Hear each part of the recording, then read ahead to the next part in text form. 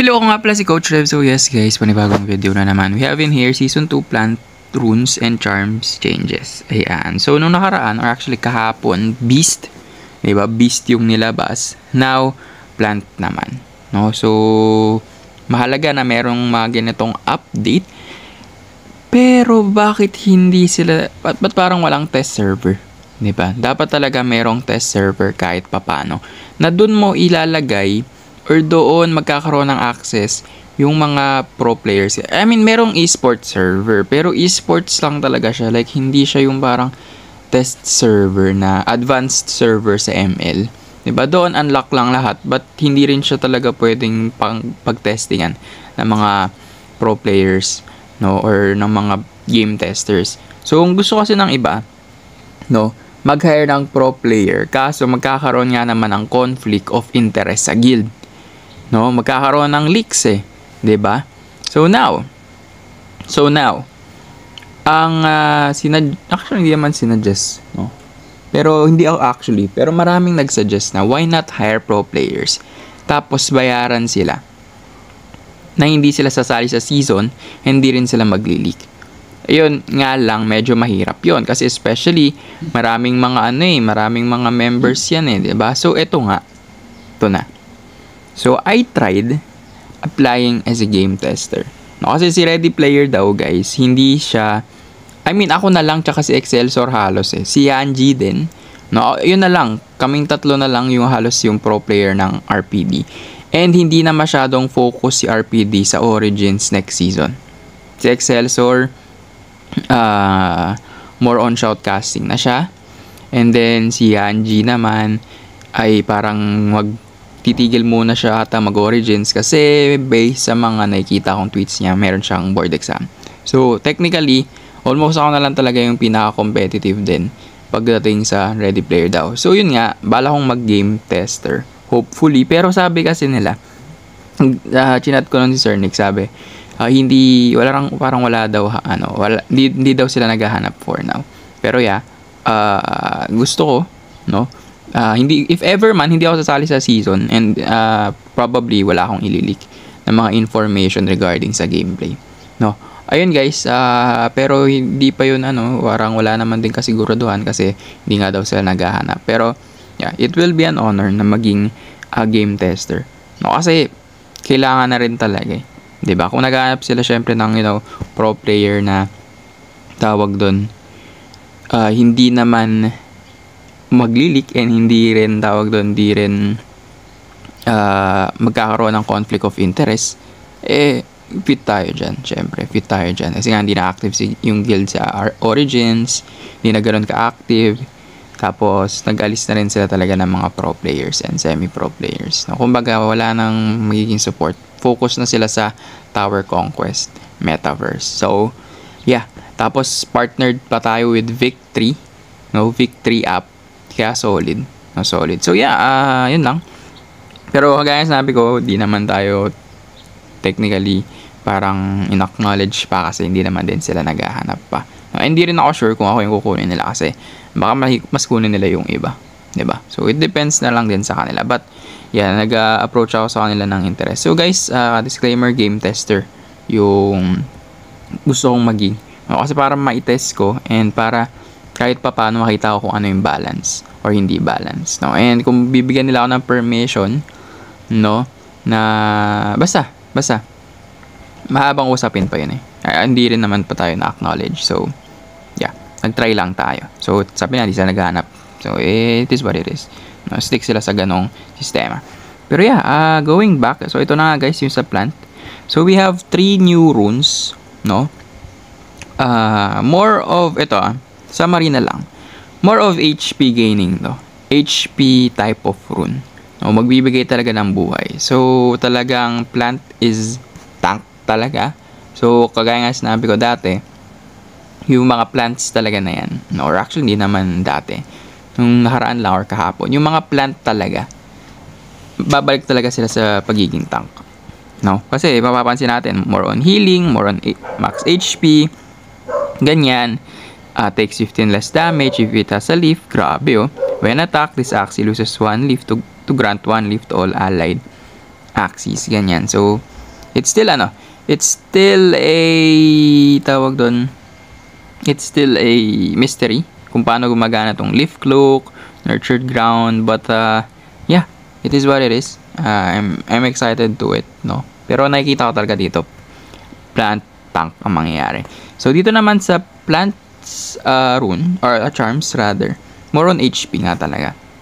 Kanina rin, more on healing, more on dagdag HP, more on uh, less damage. Basta papako natin mo yung front mo. So, dito rin sa plant, plant charms, no? So, plus HP, plus 20 HP, plus 10 HP, plus sa healing, and then, eto. Ito yung maganda doon, yung red sage. Kasi, itong red sage dati, magkakaroon ka ng cleanse, pero negative 100%. Imaginein mo ah, mystic rune yun, pero negative 100% na mawawala lahat ng effects ng ano, ng tawag doon, ng card na yun. So now, mas maganda ginawa nila, dinagdagan nila ng 10% tapos magkakaroon pa ng cleanse. So maganda yun, maganda yung ganun. Talagang mas kukunat pa yung front mo if ever man na meron siyang mga debuffs like bleed, poison, ba? So doon natin makikita na magiging mas effective siya. Kasi yung nakaraan like hindi ako makapaniwala. Tawag doon. Imagine niyo Mystic Rune tapos negative 100% all base stats, ba? Ang ano, ang corny. ang corny niya tingnan. Pero yeah, uh, that's that's it for the season 2 plant runes and charms. So let's check some of the ano naman dito. Some of the uh, tweets that we have. Wait lang. So balik tayo dito sa ating Twitter. So follow nyo guys. So sabi ni Gihos, GM, GM, sending, ah, sabi ko, GM, good morning, good morning. Tapos, sabi ni Gio, sending love, you all are important. Kumbaga, nire-tweet ko lang yung tweet ni Gio. So, sabi niya, sending love, you all are important. Mahal daw tayo ni Gio. And, yeah, based on, ano na rin naman, based on, siguro longevity of the game, makikita naman natin na matagal talaga si Axie Infinity. Like, I mean, matagal na siya. No? 2018, tapos, nag-bear market 2022. Talaga nandyan pa rin siya. Like, ang daming games last year na actually, this year din eh. Daming games this year na hanggang this year lang eh. 'Di ba? Ang dami diyan, dami ang hindi nag hindi nag-launch ng tokens, 'di ba? Daming hindi nag-launch ng tokens. Akala natin maglo-launch ng token pero ngayon, 'di ba? Sabi bear market daw kaya siya ganyan. Pero wala, ang daming games, ang daming games na ganun. So, wala tayong magagawa sa mga yon. But itong si Jiho, talagang they're passionate. Ano, uh, may mga discrepancy, may mga kakulangan, but they're trying their best para mapunan yon. Yun nga lang talaga, medyo mabagal. Okay, medyo mabagal. Pero kahit pa paano, subok na natin yan si Axie. Subok na natin yan si Axie. So, magpangalan kayo ngayon ng game na pwede pa rin kayong kumita ng kagaya kay Axie Infinity. Kahit sabihin natin through leaderboards lang, 'di ba? Sabihin niyo kung meron pa. Wala na, 'di ba? So, yeah, kaya solid pa rin. So, ayan, meron tayo ditong promotion ng ating ano, and ni-retweet ko lang din, guys. Mamaya na, no? Or actually, baka na-announce ko na yung winner no once na na-upload ko na tong video natin na to. Oh, uh, congratulations sa kung sino man yung mananalo, 1,000 pesos din yan. Naka-prepare na guys yung 1,000 pesos. No? Uh, ang daming sumali. Ang daming sumali. Bala ko nga rin magkaroon this month uli. No, titingnan natin, titingnan natin baka magkaroon tayo ng uh, sponsor for that. No, but uh, yeah, let's see. Let's see. Pero advance congratulations sa kung sino man mananalo. Sana makatulong siya. Sana maging happy yung Pasko niya. No, once na makuha niya. So, paano ba sumali? Gagawa ka lang ng BitKit account gamit yung link sa baba. And, yeah. Follow mo ako sa lahat ng social media accounts ko. Retweet mo yung post or share mo sa Facebook. Excuse. Tapos tag mo yung tatlo mong kaibigan. Ayan. So, now pupunta tayo ngayon sa Victory app. Kasi meron ditong napakalagang article na dapat nating pagtuunan ng pansin No, especially if papasok na tayo ngayon dito sa Axie Origins V2 or V uh, Axie Origins Season 2. Ayan. So, yung topic na yun guys is dapat ka ba talagang bumili na agad ng Axie? No, bibili ka na ba talaga agad early on this season or hindi? 'Di ba? So, ito na. So, ito nga yung isa sa mga concerns natin. No? We have final week meta axis on sale. Isa to sa mga tinanong natin nung nakaraang uh, tawag doon. Nung nakaraang town hall ng Axie Infinity sa Discord. Sabi natin, magkakaroon ba ng incentives or magkakaroon ng bonus yung mga naglaro sa simula ng season versus sa naglaro lang 3 days no bago matapos yung season or yung last 3 days ng season. So sabi naman nila meron kasi dito guys. So may mapapansin nyo ito ah The Beast started selling during the beginning of the season for $450. Okay? Pero nung papara, papalapit na yung last day, naging 47 na lang siya. Grabe. Tapos ang daming nag-benefit dun. Kasi ako din naman, nakala ko magkakaroon ng parang uh, bawasan, ganyan, or babawasan yung mga ibang late na pumasok.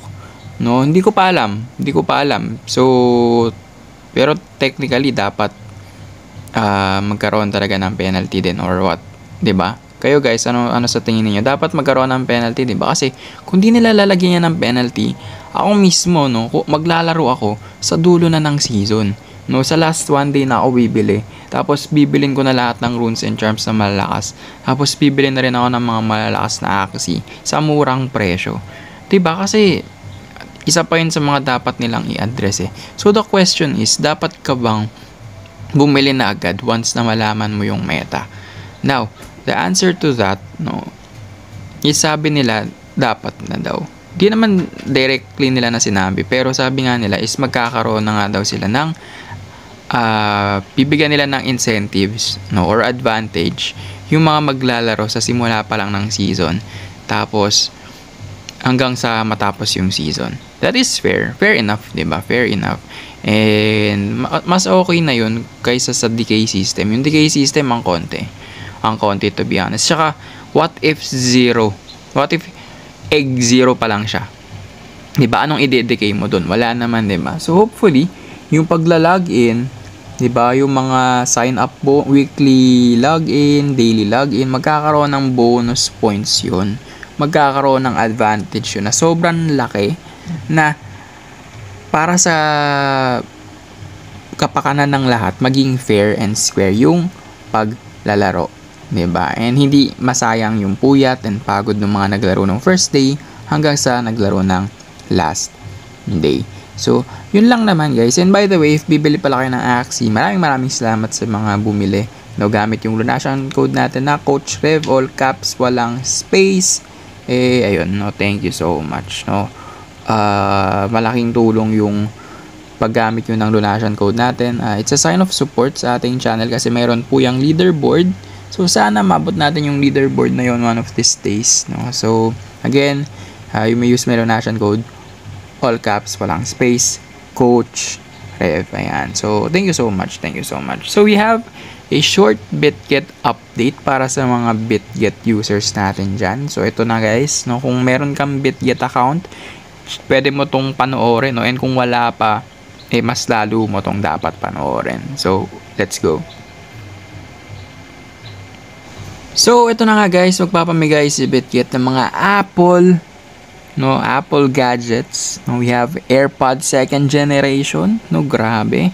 Merong AirPods Pro, Apple Watch, iPad 10th generation, iPhone 14 Pro Max, MacBook Pro, grabe. No, grabe yung kanilang pamigay. So, more on talagang, ito nga lang, para manalo ka dito, kailangan medyo malaki yung trading volume mo eh. 'Di ba? Palakihan to guys ng trading volume, no? So kung meron kang you know, meron kang uh, tawag doon or kung gusto mong sumali, gusto mong makakuha nito, no? Tapos meron ka namang malaking trading volume na sa Bitget, no? Or sa ibang crypto exchange, pwede kang uh, sumali dito sa Bitget. You may click the link below para gumawa ng account. Okay, pero not a financial advice no kasi ano to eh uh, raffle, no? Raffle to guys. So it's up to you kung gusto mong uh, i-testing no, eh no, 3 winners, ayan. So sa AirPods Pro 3 3 winners, grabe oh.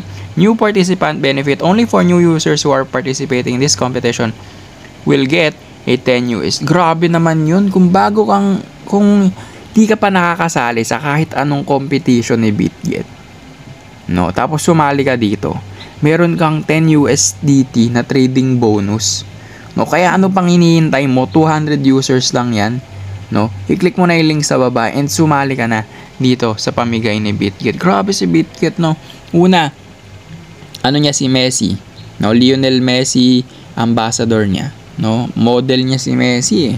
Tapos nagpapamigay ng mga ganito, no? iPhone 14, iPad 10, Apple Watch. Wala nga tayo niyan eh.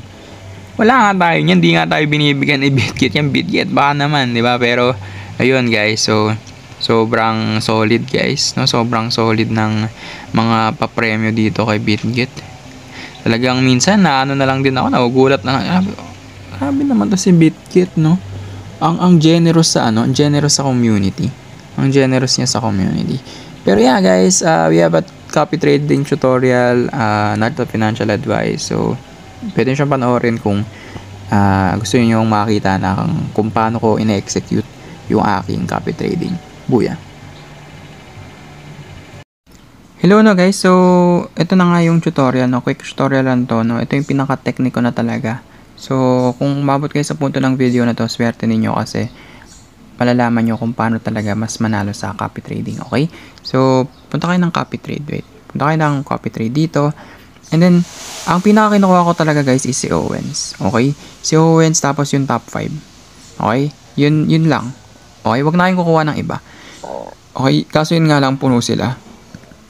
So, aabangan ko muna si Owens. Pero kapag mamaya-maya hindi pa GC Owens, so kukunin ko na to si Closed Week. Kasi guys, si Owens talaga sobrang solid niya. Pero again guys, ang inaano ko lang ay $10 a day. Okay, $10 lang yung tawag doon. Ah, uh, kinakopy trade ko, no? And pwede nyo naman siyang i-manually close. Kumbaga, kung nagte-take profit na and ayaw pang mag uh, tawag or nag uh, tawag na nagtit maganda na yung pasok no, or entry ni ng kung sino mang trader niyo pwede niyo naman siyang i-manually close para di kayo matalo. So yun lang, very quick video lang to, no? So again guys, top 5, okay, top 5. Pag wala sa top 5, huwag muna, okay? Chill muna kayo, okay? Ganun lang. So yung top 6 to top 10, medyo alanganin na ako dyan eh. Pero, yeah, kung makukuha nyo si Owens na ako, mas mataas yung chance nyo. Pero natatalo pa rin to guys ha. So, not a financial advice, of course. Uh, again, only invest what you can afford to lose. Ako, $10 a day lang ginagawa ko. So, yun lang. Snipe-snipe lang kayo sa top 5. Buya.